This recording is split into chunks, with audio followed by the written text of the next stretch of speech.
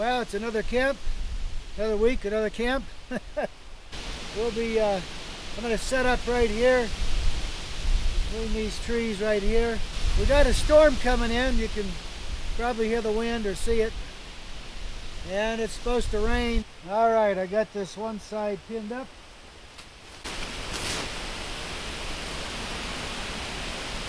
Now we'll get this one. All right, we'll pin her up right here.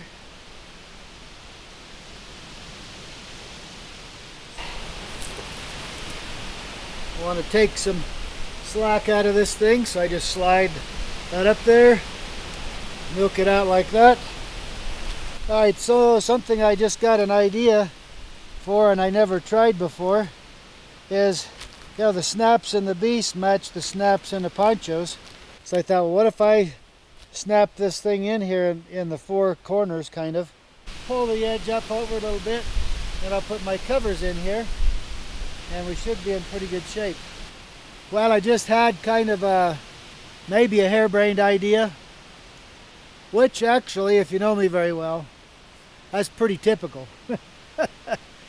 I just, uh, you know, I put the beast, I put the beast in here in my Dyneema poncho hammock, and I just got an idea. I thought, well, because you know it's it's pretty likely it's going to rain, so I want to have something over me. I thought about why not why not snap in the uh, tent pole adapters that go with the Beast and try putting a canopy over top with tent poles. I don't know. It could be absolutely maniacal. It's the new word for the day maniacal. So, see I'm just going to snap in here, throw those straps over. This might be just ridiculous, I don't know. But how else do you get good ideas but trying ridiculous things? And I'm not afraid to try ridiculous because I'm a little off anyway. Okay, we'll get our tent poles out. I am going to use the grip strip that comes with it. Slipknot. The fabric is called Slipknot. They use it on baseball gloves and gloves, different things that you want to grip and it just doesn't slip at all. Now if you already, if you've already bought these uh, canopy tent poles from us and you didn't, and you bought them, you know, more than just recently, um, you know, drop us a line down in the comments section.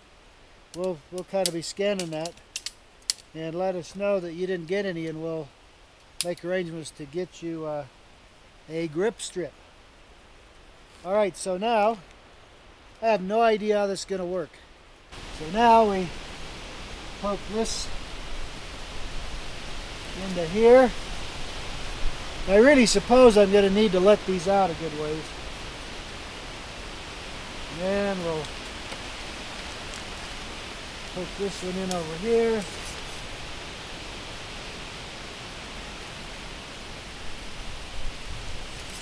Okay. So there's my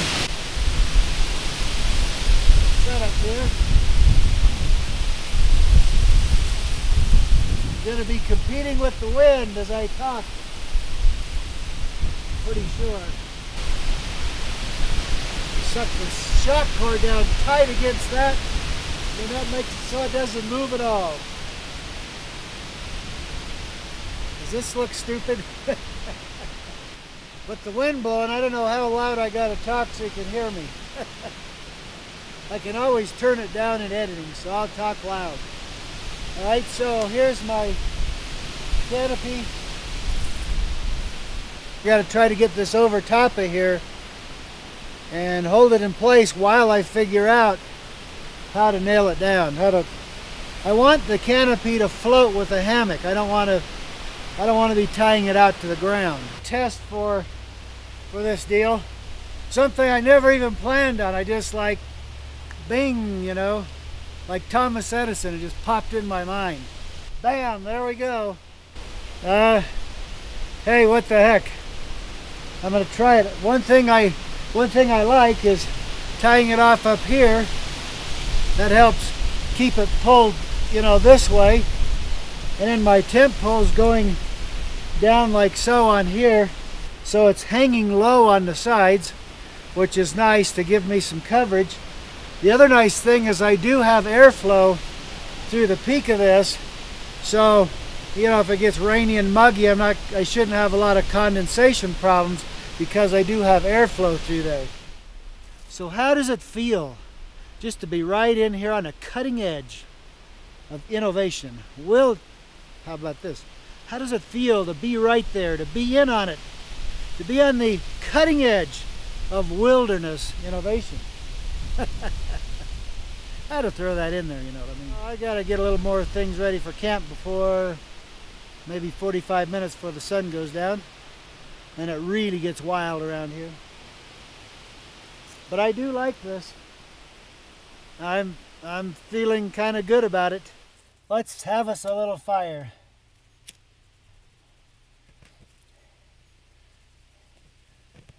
There's pine needles in here are kind of green, so. the wind's calmed down for a few minutes.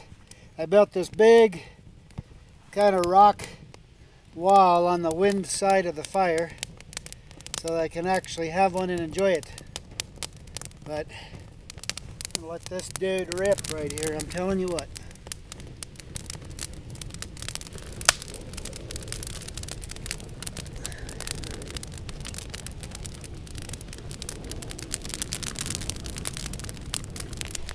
It's pretty windy out there. Building this uh, kind a fire pit, this U-shaped fire pit here. This really blocks the wind nicely. I'm sure you can hear the wind just screaming out there.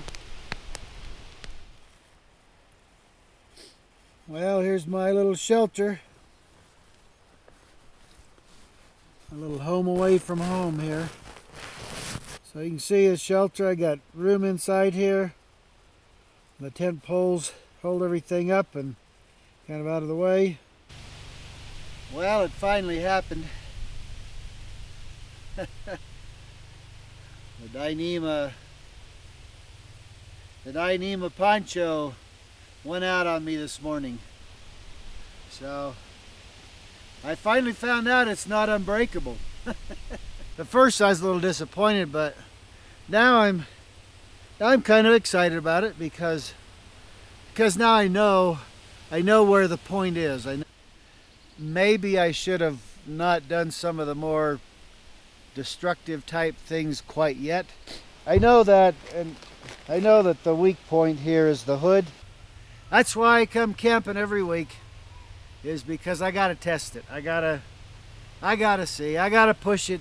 That's why you see me a lot of times walking on stuff or whatever, stuff that's not meant to be walked on dragging stuff that's not meant to be dragged.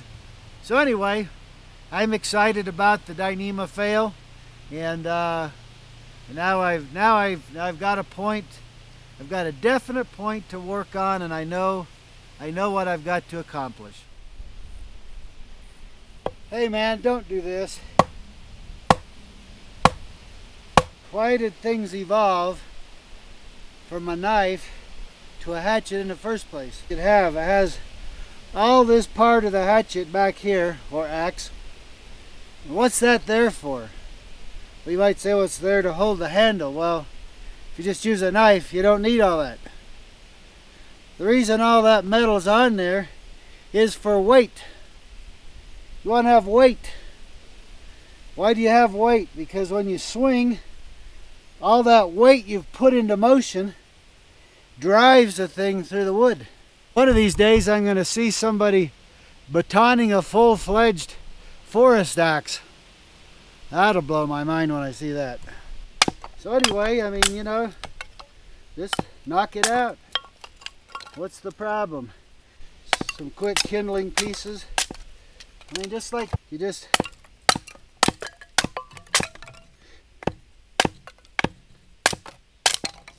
Is that hard? No.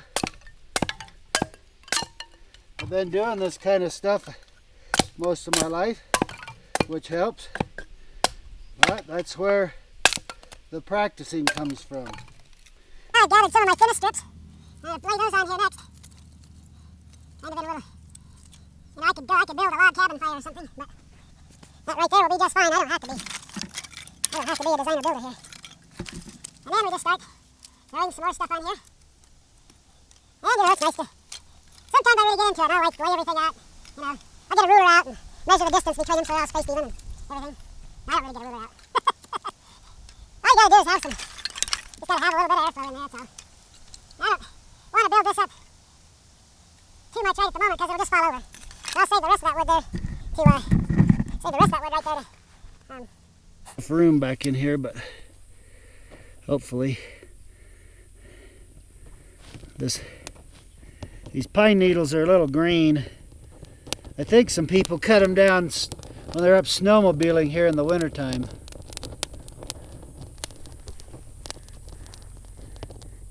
So see that piece of wood right there is already catching fire. That's what we want. So that's Perry Peacock fire starting skills. You don't you don't have to pay any attention to me. Well, it's about noon I'm getting ready to have breakfast. Kind of like always. I went hiking this morning for about two and a half hours. Went way down on in the canyon, kind of exploring around. I got the fire going, waiting for it to burn down for some nice coals. But not a bad time to take a little siesta. Okay, the usual thing here when I'm cooking on the fire. Dive down in here and get these red hot coals.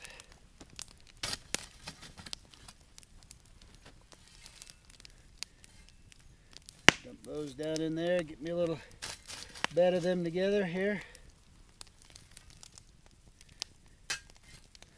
And then put all that back together. That'll keep generating me some more coals as needed. Well, the oil's hot.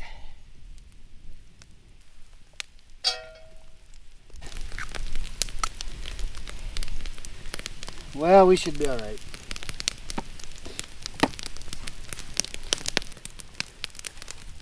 The reason it's kind of an omelet is because I don't have much of any fancy ingredients to put in it today.